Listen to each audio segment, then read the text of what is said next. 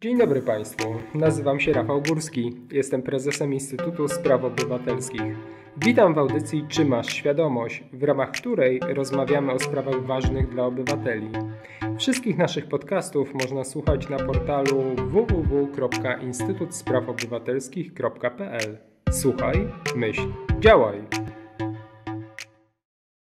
Dzień dobry Państwu. E, dzisiaj Państwa i moim gościem jest Michał Lubina, ekspert do spraw międzynarodowych. E, witam Michale. Dzień dobry. E, tematem, który dzisiaj bierzemy do rozmowy, to protesty w Tajlandii. Manifestacje tam trwają już od lipca. Protestuje głównie młodzież, która domaga się nie tylko ustąpienia obecnego rządu, ale też wolnych wyborów, a także ograniczenia władzy panującego króla. Jakbyś mógł powiedzieć, e, po pierwsze, co było punktem zapalnym, który spowodował, że ludzie wyszli na ulicę, e, a po drugie, e, jakie to może mieć znaczenie dla regionu?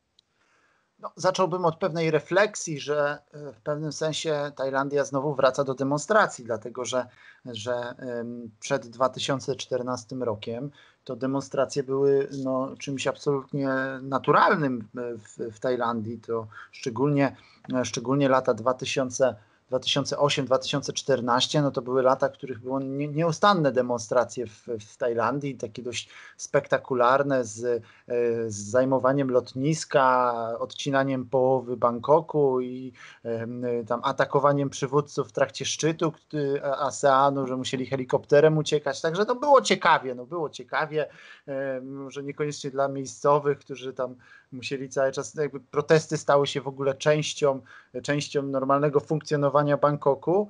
No i to wszystko e, się skończyło w 2014 roku, w którym armia dokonała ostatniego zamachu stanu. Tajlandia jest jednym z krajów, który ma największą e, liczbę zamachów stanu w ogóle w świecie.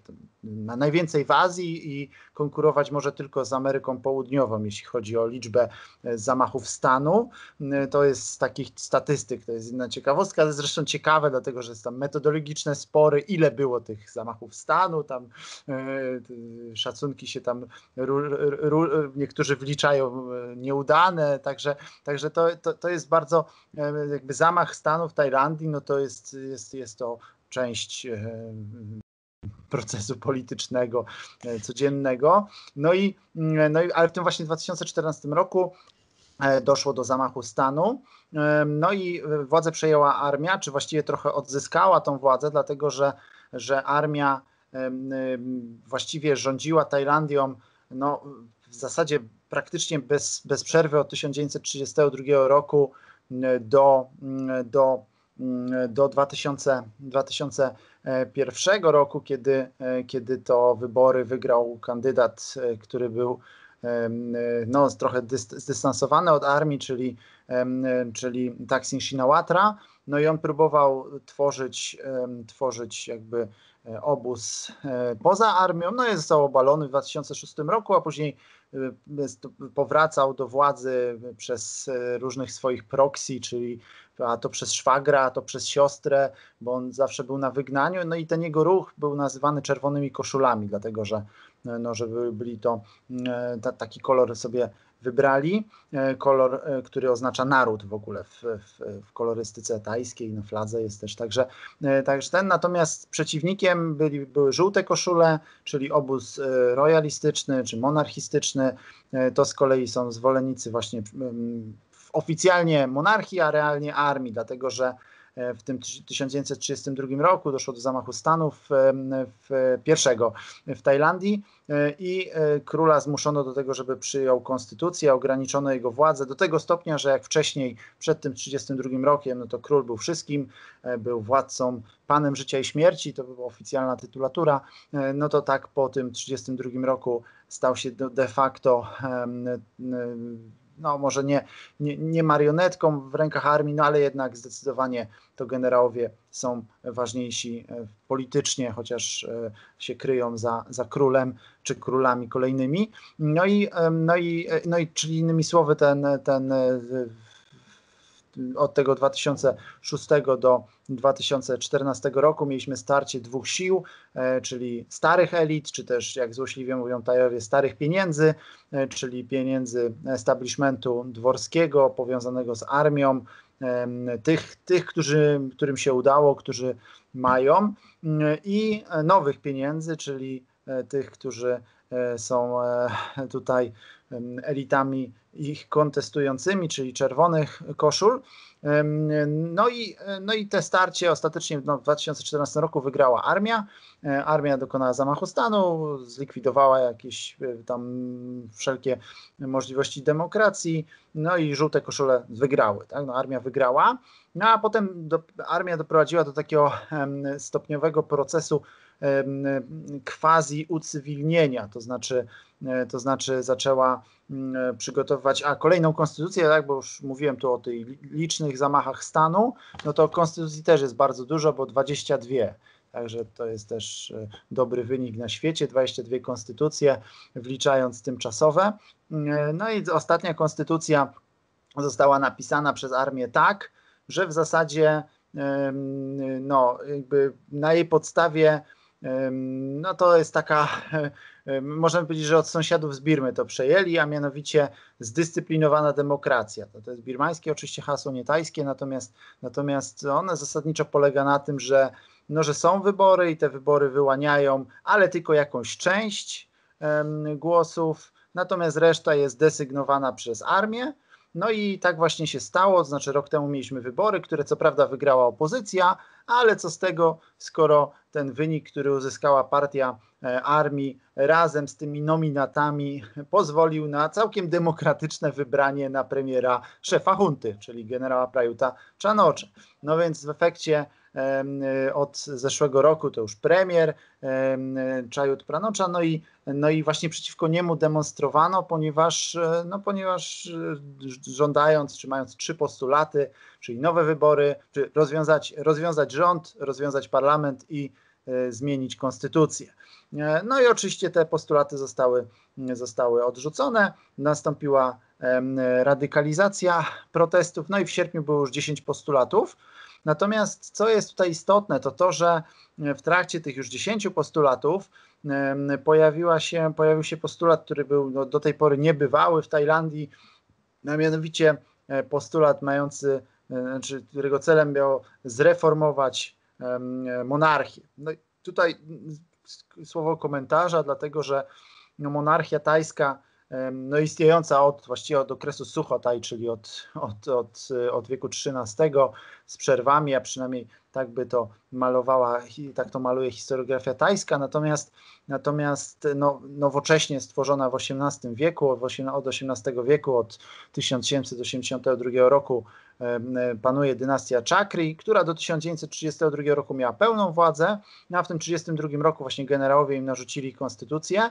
no i tam różnie było z tymi królami. Niektórzy woleli wyjeżdżać do Szwajcarii e, niż, niż się tutaj w politykę bawić. Inni z kolei popełniali samobójstwo, strzelając sobie e, prawą ręką, chociaż byli leworęczni. No, generalnie różne tam były losy tych, tych królów. W każdym razie, w każdym razie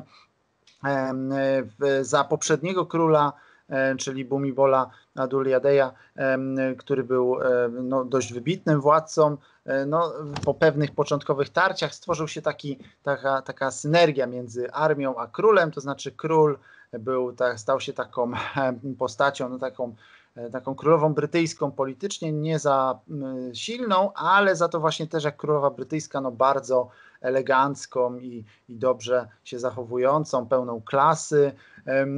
No a w zamian generałowie generałowie go tam czcili publicznie, zrobili całą wielką, to jest w ogóle ciekawy wątek, ale całą, cały, całą jakby, cały projekt ideologiczny i deifikacji tego, tego króla, to się w dużej mierze powiodło.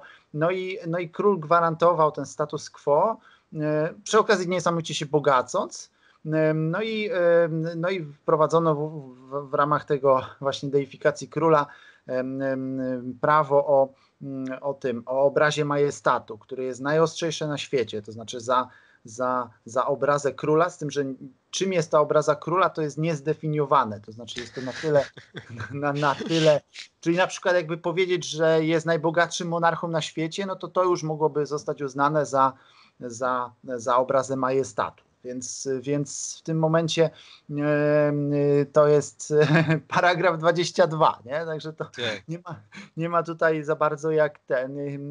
No, no, więc, no więc w tym momencie e, ten sposób jakby zabezpieczono interesy monarchii, no i to doprowadziło do takich właściwie naczyń połączonych między monarchią a, a, no, a, a armią, no taką e, jednostką czy, e, czy, czy, czy ciałem, które rządzi de facto Tajlandią jest Tajna Rada Królewska, e, której przewodniczący jest dużo ważniejszy od premierów wszelakich. No więc, no, no, i w ten sposób, no i to funkcjonowało i to funkcjonowało dobrze, póki był, póki żył stary król. Dlatego, że no stary król właśnie um, był człowiekiem pełnym klasy, e, no, potrafił się zachować. No, naprawdę była to postać, która się doskonale nadawała na taką funkcję. On też nie był marionetką, no, czasami się potrafił potrafił postawić tym generałom, czasami nawet wymuszał ich dymisję, więc, no więc, więc, więc ten system działał, no aż tu w końcu no niestety, ale e, król zmarł, no już był bardzo wiekowy, tam miał ponad 80 lat.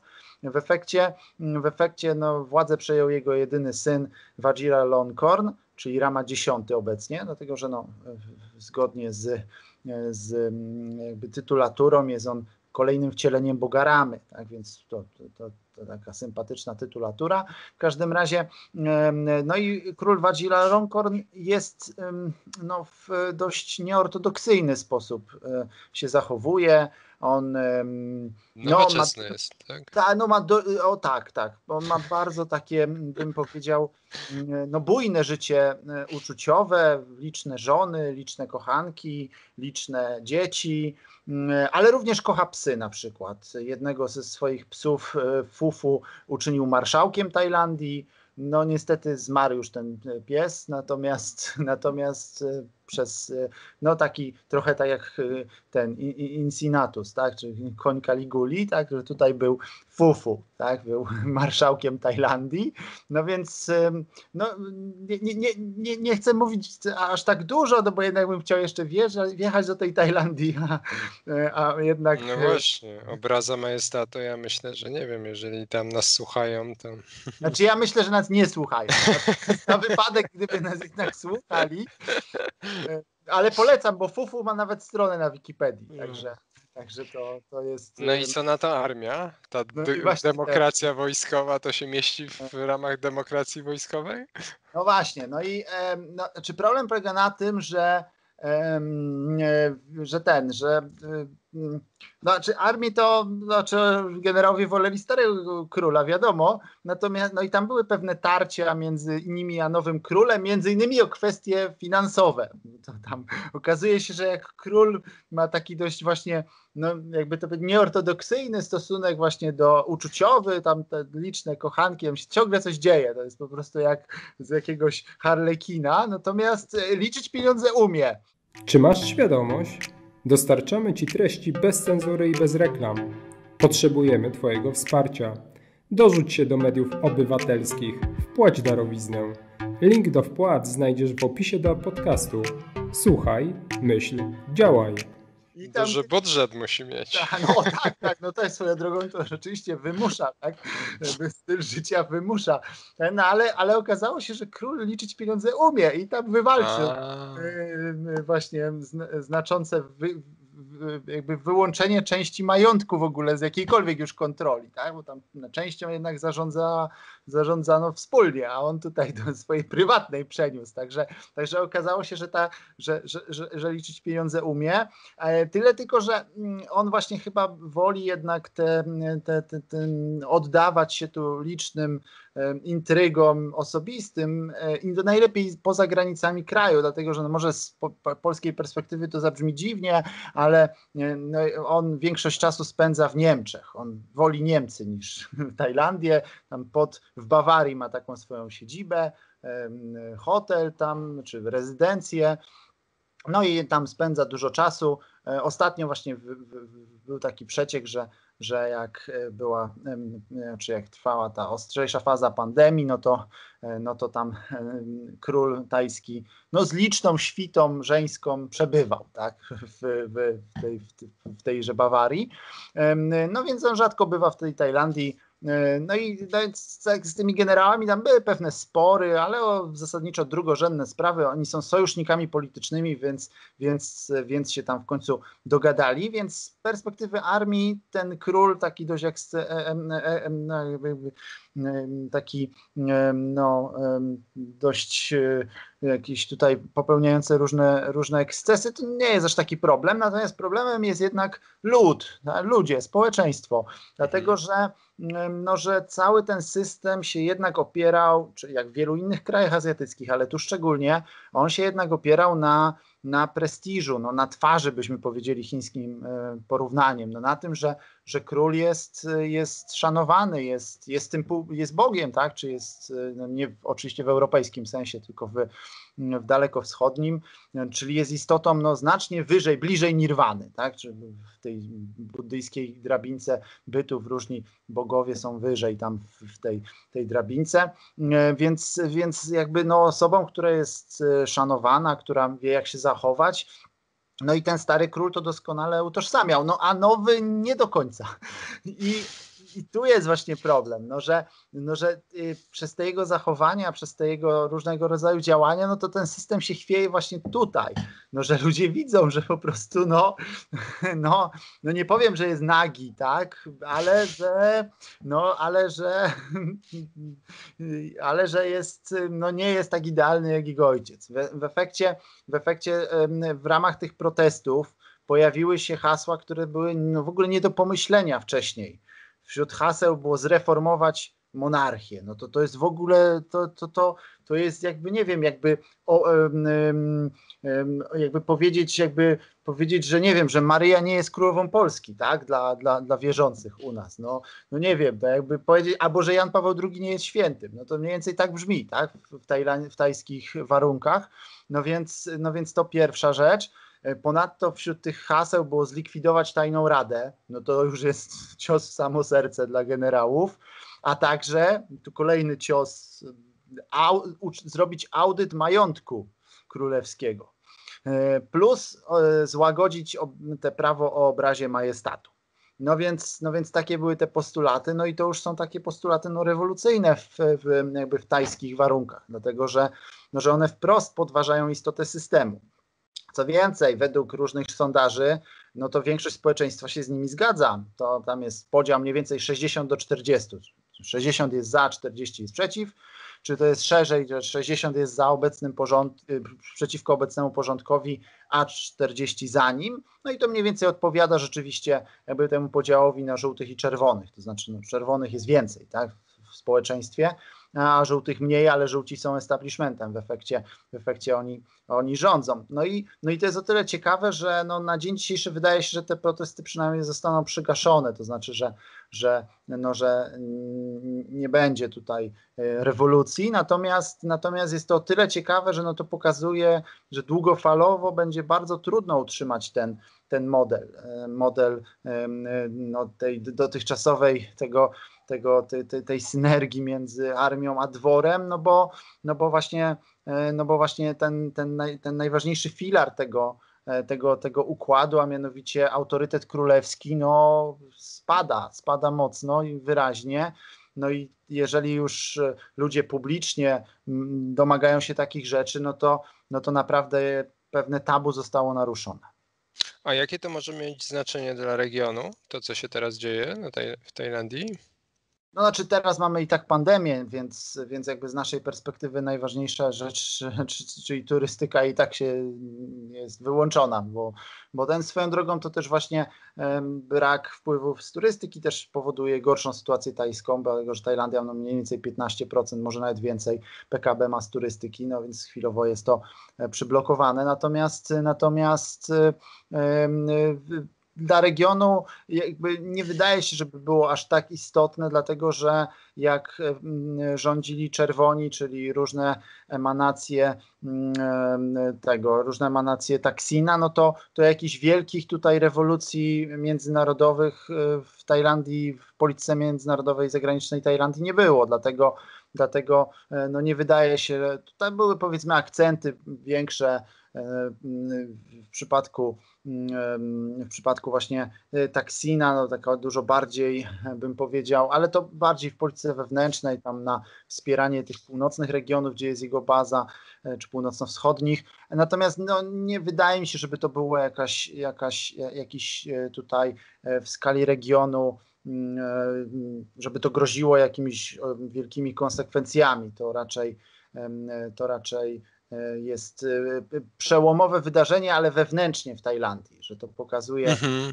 Że, ten, że, ten, e, no, że ten układ królewsko-armijny no, może nie być wieczny. To znaczy, że to teraz to pewnie jeszcze wytrzyma, natomiast no, długofalowo może być, mu, może być trudno utrzymać to bez oczywiście jakichś modyfikacji. No właśnie, bo y, kilka miesięcy trwało, zanim mm, zeszłoroczne protesty w Hongkongu przebiły się do nagłówków y, gazet, y, tytułów gazet zachodniej prasy. E, sądzisz, że z Tajlandią może być podobnie, czy to w ogóle jakby nie przedostanie się do e, znaczy, głównego nurtu? Może się przedostać, bo między innymi protesty wspiera diaspora tajska, natomiast nawet jeśli, która się mieszka też na zachodzie, natomiast nawet jeśli się przedostanie, to to nie jest ten kaliber sprawy jak Hongkong. No jednak mhm. Hongkong, e, no raz, że tak międzynarodowo ważniejszy, mimo że dużo mniejszy oczywiście od, od Tajlandii, a dwa, no jednak zostało tu w przypadku Hongkongu, no Chińczycy po prostu zlikwidowali autonomię, którą mieli jeszcze przez ponad 20 lat utrzymywać. W efekcie, no to jest takie dość wyraźne było. No, dodatkowo jeszcze Hongkong wszedł nam teraz już w tą fazę rywalizacji amerykańsko-chińskiej. No więc w efekcie to jakby no, powoduje zainteresowanie tematem. To jest jedna z bitew, tak, umownie mówiąc, tej, tej rywalizacji amerykańsko-chińskiej. To powoduje właśnie, że, że, no, że Hongkong jest tutaj atrakcyjnym e, tematem. No, a, no, i, no i to, że jest, że jest y, gospodarczo bardzo istotny. No to jest w przypadku Tajlandii, no to, no to jakby to jest bardziej sprawa wewnętrzna, już się na Zachodzie przyzwyczajono do, do tego, że ta Tajlandia to tak nie do końca jest demokratyczna, no ale Zachód teraz ma naprawdę większe problemy, to już nie są lata 90., kiedy, kiedy tak e, można było pouczać wiele krajów z pozycji e, siły. Dziś Zachód gada zarówno z Prayutem Czanoczą, czyli z obecnym premierem e, Tajlandii, jak i gada z Duterte na Filipinach. Także, także, także z punktu widzenia Zachodu mm, nie jest to aż tak istotne, dlatego że, no, że w dużej mierze to, no to to już taki poziom emocji już nie jest aż tak silny, że jak ktoś walczy o demokrację w jakiejś części świata, no to oczywiście się go wspiera, natomiast no to, to już nie jest tak jak w latach 90., kiedy było przekonanie, że, no, że historia jest po, po stronie Zachodu i że wszyscy prędzej czy później staną się demokracjami. Także, także no, to, to, ten optymizm już wyparował w dużej mierze, więc, więc nie wydaje mi się, żeby to miało aż taki potencjał, um, potencjał zainteresowania, co nie zmienia faktu, że oczywiście e, uwagę przykuje, no bo, no bo Tajlandia jest no, globalnie drugorzędnym, ale jednak istotnym krajem. No, Tajlandia w Azji Południowo-Wschodniej to jest trochę tak jak Polska w, w, w Europie. No, nie jest to pierwsza liga, ale jak najbardziej druga liga y, istotna, więc, więc, więc, y, więc jak najbardziej y, zostanie to zauważone. Dziękuję. W takim razie tu postawmy kropkę. Państwa i moim gościem był dzisiaj Michał Lubina, ekspert do spraw międzynarodowych. Dziękuję Michale za rozmowę. Dziękuję bardzo. Dziękujemy za uwagę i do usłyszenia w następnej audycji Czy masz świadomość? Wszystkich naszych podcastów możesz słuchać na portalu www.instytutsprawoobywatelskich.pl. Słuchaj, myśl, działaj!